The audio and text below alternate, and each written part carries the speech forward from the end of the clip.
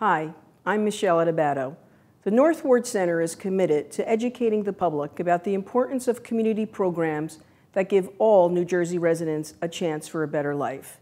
That's why we're proud to support the important educational programming produced by the Caucus Educational Corporation. Funding for this special edition of One on One with Steve Adubato at NJIT has been provided by the North Ward Center, St. Joseph's Health, a passion for healing. It's what's inside us. PSE&G, committed to providing safe, reliable energy now and in the future. TD Bank, the Healthcare Foundation of New Jersey, founded by the Jewish community. The Robert Wood Johnson Foundation, and by MD Advantage Insurance Company of New Jersey. Promotional support provided by AM 970 The Answer and by New Jersey Monthly, the magazine of the Garden State, available at newsstands. This is One on One. I'm an equal American just like you are. The jobs of tomorrow are not the jobs of yesterday. Look at this. You got this? Here it is, man. Look at it. Life without dance is boring. I don't care how good you are or how good you think you are, there is always something to learn. Do you enjoy talking politics? No. People call me because they feel nobody's paying attention. Our culture, I don't think, has ever been tested the way it's being tested right now. Such a good question. High five.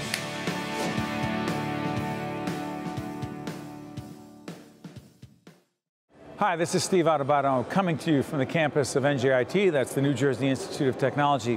Why are we here? This is, in fact, the Voice Summit, uh, sponsored by Amazon Alexa. You've got about 2,500 folks from all over the country, programmers, people involved in something called artificial intelligence, all about voice. What does voice mean in our lives today?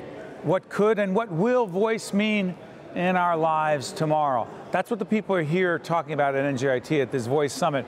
We'll be interviewing those folks and bringing everything you've ever wanted and needed to know about voice to you right now. Hey, have you heard the news? It's gonna be awful. You can't be sure whose side someone's on. If whatever happens, we all need to have our story straight. We can't let them get away with it. It's too much. We have to think about our futures. Maybe we should hear from someone with a little perspective. What do you think? Should I tell the truth or protect myself? Tell the truth. Thank you. Kevin Cornish, who's the founder of an organization called Conversive, which is? So, Conversive is a conversation engine for building face to face conversations. So, imagine putting a face on Alexa. In, uh, in the entertainment space, imagine having conversations with characters from your favorite shows. This is the API that allows all that to happen. API. From, yeah. What is 13 Reasons Why? So 13 Reasons Why is Netflix's biggest show. And what they wanted to do for the, to help launch the newest season was give fans a chance to step inside the world of the show. And to do that, we enabled this experience where you're getting FaceTime calls from the characters. So it's a voice first movie that's set during the show. And it treats you just like you're one of the kids on the show. Okay, an 18 year old watching the show. He or she's watching it, but then they're interacting with the show how? So the day before the show launched, there had been a whole media build-up to this new season. There had been all kinds of open-ended questions from the season before, big questions about what's going to happen in the next season. They get, they find, a, they get a link on, find it on Snapchat or in an Instagram story. They click in, then they start getting a FaceTime call from Tony, no, the star, of the, the star of the show, and Tony's telling them, there's a lot of crazy stuff going on. Whatever happens, stay out of it. And then over the course of the next 10 minutes, they're going to be getting calls from seven, eight other characters on the show. And the decisions that they make about what to do is going to affect what the other, how the other characters respond. The level of interactivity is totally different than anything that some of us, quote, back in the day ever experienced with media. Mm-hmm. Well, if you think about everything that's happening with social media, you're at the center of the story. If you're watching Instagram, it's all, it's as much about what are the comments and what are the comments that you're Yes. getting back. It's the conversation about the conversation. But you're watching all these characters that have peripheral roles in your life. But at the end of the day, you're at the center of that story. So for big media companies, that need to be in the business of making content, how do they put their fans at the center of the story? And you see this with the obsessive fandom of on any of the big IP, that it's, I love these characters, I love this world, I want to be in it more. What can I be doing to get deeper in, into that? How'd you get into this? So the first thing I did was a, thing with Taylor Swift, and there was a moment in. She's a performer. She is a uh, singer-songwriter. you may know her from some of her early Nashville days. And she's done some good things. But She's done. She's done some. So what did you do with things. Taylor Swift? So I was doing a couple videos, and then on one of the shoots, I got to shoot with a 360 camera. And this was maybe four years ago, so the technology was really early. But there was a moment where she looks in the camera and starts talking to the camera. And then watching back on the headset, it felt like she was talking to me. And this idea of having a conversation with someone that you would never be able to meet in the real world was this very inspiring thing because the possibilities and thinking about what is it that fans want and what is it that's important. It's this idea of I can make eye contact with somebody, I can use my voice. When I'm tapping like this, I'm, it's, it's like muscle memory, it's not human communication. Yes. And so the bonds that can be created by using my voice, making eye contact, seeing, using my mirror neurons, just ha- it creates a deeper level of engagement. So one of the most fascinating things from 13 Reasons experience is that we could see who is interacting with voice and who is interacting with tap. And the people that were interacting with voice were engaged twice as long. They So- stayed on longer. Yeah. So the average time on in the experience across the world in 17 different countries was four minutes and 45 seconds when they were using their voice. Tap. When they were tapping, two minutes and 45 seconds. What does that tell you? It means that there's there's something else emotional happening when we're using our voice, and that it's it's less mechanical, it's less of an automated, it's more. This is how humans have wanted to communicate for hundreds of thousands of years. Yep. And it's getting back to this it's being the most You, user. you know, you know, you're way too young. I hate when people say that. Uh, they don't say that to me much anymore. But you're way too young to remember. what you may have read about Marshall McLuhan, who said what about the message? I'm thinking the medium's the message. That's exactly what you just said. I don't think Marshall Right. McLuhan was thinking about voice. Right. But he was largely talking about television versus radio. But you're really saying the same thing. You're saying that the medium by which the information and the content is distributed matters as much as the content itself. Yeah. And our, our ability and our desire to engage in it and with it. Am I making too much of yeah, and how we and how we relate to it. That What do you when we mean, how talk to to each it? other, we're connecting emotionally. We're creating a bond. And that when we're talking to our entertainment or talking to whatever it is that we're experiencing, we're bonding with it. Okay, sorry for not interrupting. just learning from it. Okay, stay on this. We're having this conversation. It's on public television, it's on FiOS, it's on a lot of radio platforms. Okay, fine. Say we were to use the, the concepts you were just talking about right now. We're talking. We want to engage people watching right now. We're breaking all the walls down. Yeah. Yeah, it's this, it's the. Um, Could it work in a talk show? Absolutely. Really? Well, well, then what do I do? There is an art to asking questions. Oh, now you're going to, after 25 years, you're going to tell me, please tell me. Well, those the people on the other side of the screen aren't conversation artists. But how do we, here's, I don't want to belabor this, but I am curious. How do we get them, right, more engaged in this? That they play is a role playing game for them, and they get to play the character of you. So think about it, think about it like this. Go ahead. You have a great conversation with somebody. You. you kind of go away. You go away from it. You remember it. Yes. What defines great conversation?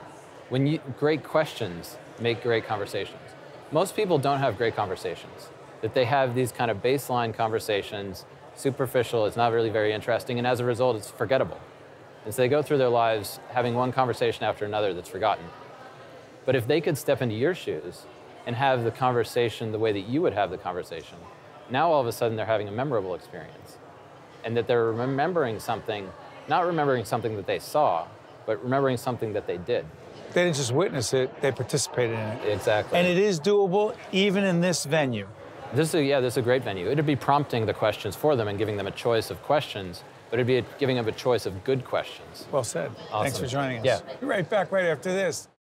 To watch more one on one with Steve Adubato, find us online and follow us on social media.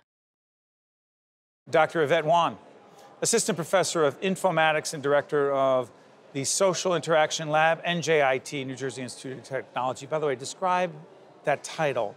The Social Interaction Lab is? Social Interaction Lab is uh, myself and a collection of students, and we do research related to human computer interaction, which is looking at how people interact with all sorts of different kinds of technologies that are social. Uh, so that includes social media, online games, live streaming. So a lot of fun research going on. You know what's so interesting? I, I was saying this to you before we get on the air. By the way, there are thousands of people here at this Voice Summit at NJIT. Um, who come, who've come here for a lot of different reasons, but I bet there's some folks watching right now, Professor, who say, oh, voice technology, less human interaction, more technological control. You say?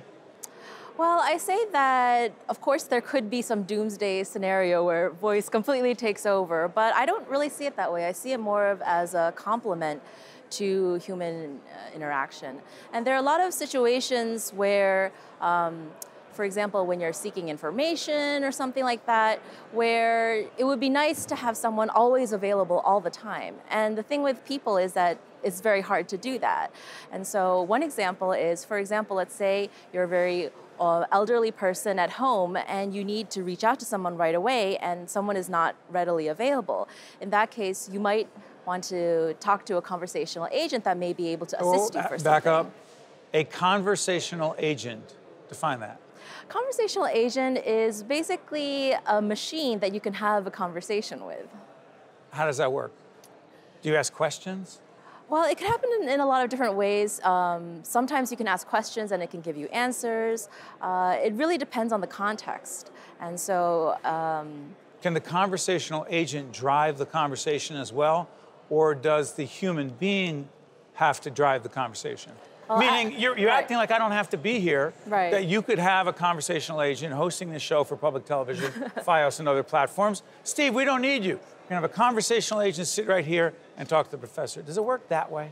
I mean, no. I, the technology isn't sophisticated enough to work that way yet. Uh, uh, currently, it's most, mostly about responding to your questions. A lot of I often think that medical. I've used some voice technology mm-hmm. around health and medical mm-hmm. related questions. Growing area? Yes, definitely. Because? Well, um, for example, we do a lot of searching on the internet for medical reasons, and um, sometimes, uh, let's say right now you look up look it up on a website and it gives you information through a text. Uh, voice would be just it would be exactly the same thing, but instead of giving it the information to you through text, it gives you it through voice. So it's not that much different than what we're already used to right now. But stay on this though. The, the medical situation is fascinating to me. For those of you who've ever gone onto the internet to search for medical or clinical information, health related information, I'm included. What's curious to, to me, doctor, is if, if you come, people often say, well, some physicians will say, don't do that, it's dangerous. People can decide for themselves. Can you have a situation where you ask a question of this conversational agent who's an expert or the technology is programmed for this conversational, I'll get to the question, I promise. Um, where you ask a question, you get something, and you need clarification. Can you ask a follow up to say, wait a minute, you just said this, I heard this before, what's accurate? Well, there are limitations of the conversational agent. It's only as good as the intelligence of the system, and we're at a very I mean, it's getting better, but it's still at a very low level. Is it and the so early stages? I would say I would say that it's still at a very very early stage. Um, uh, if you're talking to a conversational agent um, right now. There's not a lot of interactions where you could actually have a meaningful philosophical conversation. So it's mostly geared at question and answers. And the reason why is because there are a, lot, a huge repository of questions that we already know answers to. And so that way we have these databases that um, have all these kind of uh, answers that Sure. are pre-made answers that, that, that, that the machine can deliver to you. Um, It's less social than it is informational. it's right now it's not very social at all, but uh, going into the future, um, if the technology becomes more sophisticated, we can imagine maybe some rudimentary conversations. And you see already a lot of that when you're answering, for example, like phone calls where they're like, press one to do Yes. this and two to do this. That's like a very low level, Yes. right? But you can imagine that getting a little bit better. Sophisticated. Yes. Sorry for interrupting. By the way, we are here at the Voice Summit at NJIT. Thousands of people have come here to Newark, New Jersey. This event is sponsored by Amazon Alexa. Um, our colleagues and friends uh, uh, in the higher education community, particularly here at NJIT, have brought these folks together here on campus. Um, what is an event like this? With the folks who are here, the whole range of panel discussions, keynote speeches, all kinds of information being shared. What does it mean to an institution like NJIT for this event to be here? I mean, I think the fact that it's in Newark and at NJIT is like very symbolic for our community. Uh, we have a very strong, growing research presence here at NJIT. Uh, we have something called the 2020 Vision, which is uh, investing a lot into research, and some of that research is in this voice technology. And when you think about voice technology, it's very complex because it's not just about like algorithms and computer science. There's also ethics related to what would be appropriate for the you know the machine to Quick know. example. Um, so let's say that you're talking to your your device and you're asking it about certain health conditions. My conversational agent. Yes, a conversational agent. And you're talking about some kind of sensitive health information. Well, does that stop between you and the machine? No, because some of that data goes back to the company. What about HIPAA, the federal government laws about what medical information can and cannot be shared by the clinicians involved? Right. Well, that's about clinicians. So this is like a little bit of a different conversation because it's not about doctors sharing information. It's about you sharing your personal information. But. I don't want anyone to know, doctor. Right, but then why are you talking to this agent? So usually when you're asking questions about certain Sure. medical situations, then the device knows that that's something that you're interested in. And right now, Is that information protected in terms of privacy? um, That's a good question, and those, that's like one of the discussions uh, going on here. Is that to what extent are the companies going to save that information? You are fascinating. Your Thank work you. is fascinating, and, and this conference has so many interesting aspects to it. And we thank you, uh, Dr. Yvette Wohn, Assistant Professor of Informatics and Director of Social of the Social Interaction Lab at NJIT. Thank you, Doctor. Thank you so much. Be right back right after this. To watch more one on one with Steve Adubato, find us online and follow us on social media. Jordan Thomas, a Rhodes Scholar, a graduate of Princeton. Princeton. University, born and raised in the Ironbound section of the city. Went to what high school? To University High School, Southside. You are about to embark on a fascinating, uh, very rare experience. Very few of us, very few uh, students who come from Newark, New Jersey, are Rhodes Scholars. Yep. You're about to go to Oxford. Yep, sure am. Describe that. It's extremely exciting, you know, being a part of the Rhodes Network. It's a scholarship that uh, gives you fully paid tuition to study at the University of Oxford in England and uh, very flexible options for you. You, you essentially have the entire uh, course um, offerings at Oxford available to you. So I've decided in the first year I'll study policy evaluation and get a master's in that. And then the second year, still sort of keeping my options open, but it'll probably either be an MBA or an MPP, Master's in Public Policy. Um, and then you have other students there who are studying for doctorates, students there who are doing two-year masters rather than one-year masters. And so it's, it's essentially a network of individuals who are striving to better themselves in a way that allows them to, in line with the mission of the scholarship, fight the world's fight, right? So we all have this social impact that we want to have on the world, and it's part of being this network and having these opportunities available to you that allow you to do that. And so I'm just so excited to think about what I'm about to embark on and the way that I'm about to develop to really allow me to have an impact on people in the world in the way that I want to. You're also going to be heading to Yale Law School. To Yale Law School, and so I've decided that that's part of how I want to have my impact in the world is I want to do it through law and policy. And so, uh, in addition to applying to the Rhodes Scholarship, I decided that I wanted to go right in and apply to law school, and that was my dream school. It's the number one school in the country. So, Yeah, I'd say so. I'm a Rutgers guy, but you know, I get it. Yale. Ironically, when I met you, it was at a conference that was being held around the corner at Rutgers. Yes. And Cory Booker was standing about 10, 15 feet away when I first met you. Cory Booker, a young man who in the United, is in the United States Senate, may in fact choose to run for the presidency. Ivy League education. Right. Um, question Is he a role model for you? Absolutely. I mean, I look at what he's accomplished, very similar background. He went to Stanford undergrad, then Rhodes Scholarship at Oxford, and then Yale Law School. Uh, the only difference there is that I went to Princeton. I won't fault him for it. Uh, but, but um, you know, I just. Yeah, like Stanford's a terrible school, but go ahead. but I, I look at, you know, just his his desire to better himself, right? To continue to rise up the educational ladder and to just equip himself with all the tools that he needed to then come back and serve people, which is what he did. He came to Newark, served on council, mayor, now serving uh, the nation in the Serving Senate. other people, big deal for you. It is. I Why? mean, that's. Well, I think about the fact that I've been blessed with certain gifts, also certain opportunities in my life that allowed me to get to where I am. Right? You don't you don't become a Rhodes Scholar without a lot of help along the way, um, and so I'm just so appreciative of all that's made this possible, and I believe that I have a responsibility to now pay it forward and give it back to my city and to other people, right? And so any way that I can try to use my talents, use my privileges and opportunities to now give other people opportunities, other people resources, I want to do so. And that's where I get my energy. I get my energy from working with people and know that in somehow, uh, some, some way, I'm really making a tangible difference. You know, as a student of communication, someone's fascinated by it, watch other people's ability to communicate or inability to communicate. I'm curious. Your communication skills, your ability to comfortably, confidently communicate on camera right now at the ripe old age of 21 comes from where? A lot of just looking at role models, looking at individuals like you who, who managed to do it and have been doing it for a long time. Individuals like you mentioned, Cory Booker. I mean, I grew up in the era of Barack Obama, who I consider to be one of the great orators and most charismatic politicians of our time. You know, I've, I've sort of set as a mission to myself to constantly think about how I can evolve, what are my weaknesses, and how can I target them and try to make them strengths. And so I wasn't always as confident speaking. Uh, you were not? No, not People at say, all. oh, he was born. Kid, great leaders, great communicators, they're just born. No, it's just not at all. natural to them. You say? No, I was I was extremely nervous to speak uh, in groups. Uh, I remember my first experience in public speaking. I, I had to give a, uh, a speech. It was like a, a poem that I had to read in front of the entire school at university.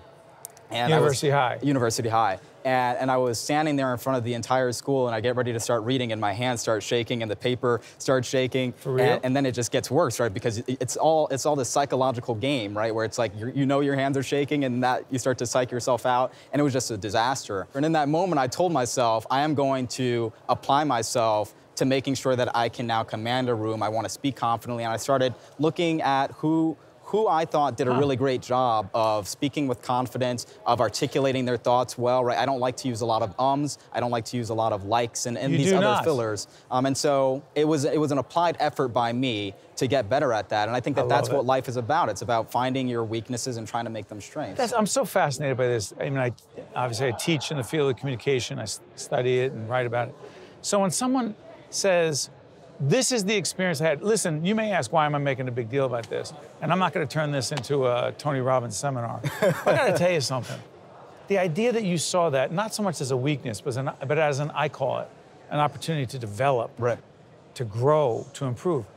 That's a big deal. That is a sign of leadership. Thank to look inside and say, hey, wait a minute. I didn't do that well. Now, you could have folded. Yeah. Why didn't you fold?